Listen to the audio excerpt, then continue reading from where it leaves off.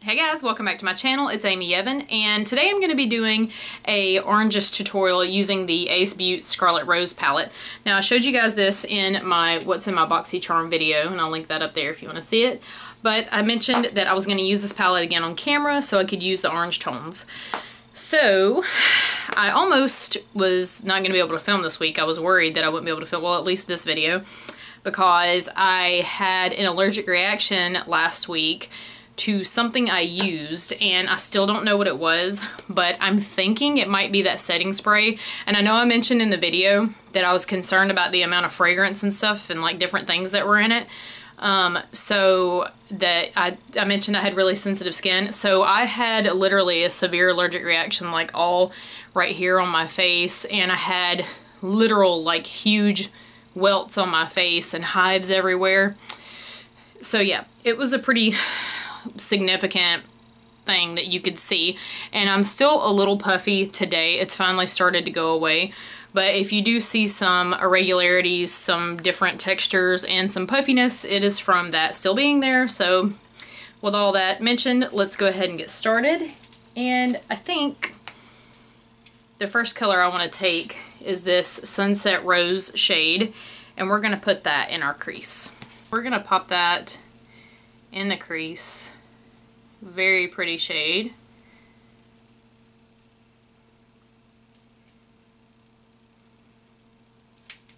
Now I am taking this color out in like a tapered shape all the way to the end of my brow. And I'm just going to knock off any product that's left. It's dyed now, but I'm going to knock off any product that's sitting on it. And I'm going to buff those edges out. So the next color I want to go into is this beautiful shade Crimson. This is the one that I was probably most excited about using and I hope that I still maintain that enthusiasm once I see it. Oh yeah, that's really pretty. Okay, you know what? This actually reminds me so much of that Super Shock color uh, that I have called Monkey Business. It's like a red-orange shade. I used it in a fall tutorial. I think I'll link that up there if you want to see it. So I'm just going to knock the product that's left on this brush. Again, it's stained, so it looks like there's still product sitting all over it. And I'm going to start softening my edges. I just wash my brushes so they feel nice and clean. But I hate the process of actually washing my brushes. I don't know why. It's just so tedious having to sit there and wash every single individual brush. Alright, so now that we have this shade blended out, we are going to go in with this shade. Shade. That's what it's called, shade. So we're going to go in with shade on that same brush that we've been using.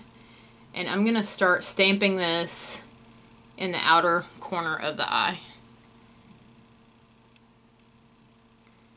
So we're also going to drag that color under the eye. And without going in and grabbing any more product, I'm going to use what's on the brush and start blending that outer crease. So if you can't already tell, this is going to be one hell of a look. Well, you knew, okay? You came to my channel, you knew I did this. Alright, so going in on our finger, I'm going to take this shade Hibiscus. Nope, this one right here, which is a really pretty shade. And we're going to pop that into the center of the lid. That small blending brush and just make sure that the top and the edges of that are soft and blended out.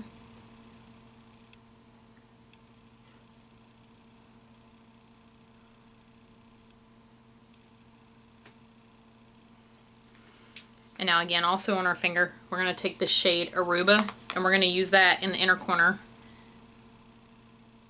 on the bottom and top and on the inner inner corner right here. Okay, go back in with the blending brush, knock off any color on it.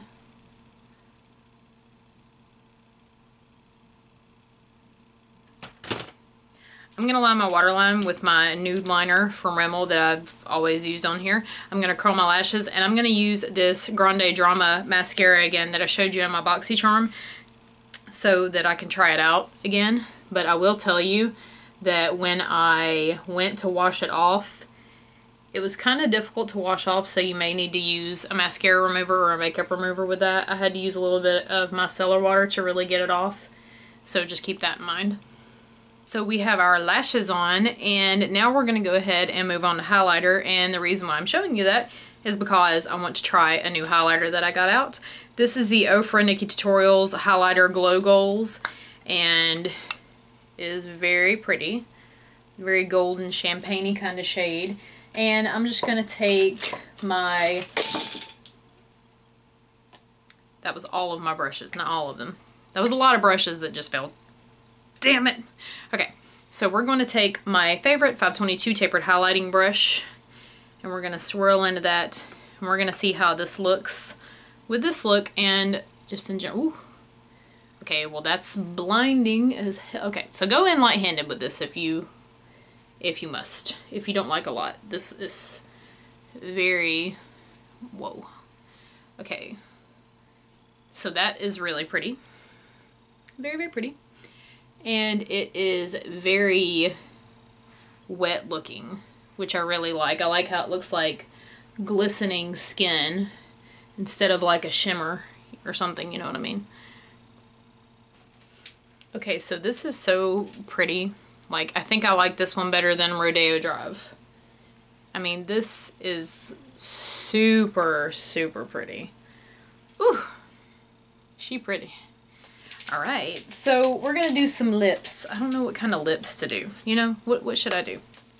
Alright, so this is the finished look. I hope you guys like this. That highlight is out there, right? That is super, super bright. Zooming you guys in so you can see all the little details of that eye look. You can see because we blended, we made sure that all these colors all went together real soft and smooth. And that nude liner, I feel like just helps to make this color pop and to make your eyes pop. But yeah, I also wanted to mention that I have finally made it to 100 subscribers. Yay! It seems like it's taken me so long to get here, like seriously.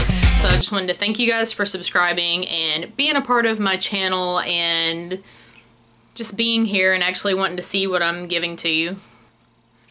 Alright, and that's all for this look. And guys, make sure you subscribe if you haven't, because if you haven't, I'm telling on you to somebody. I don't know who, but I'm telling. But yeah, subscribe. I post every Tuesday and Thursday, and I'll see you guys next time. Bye!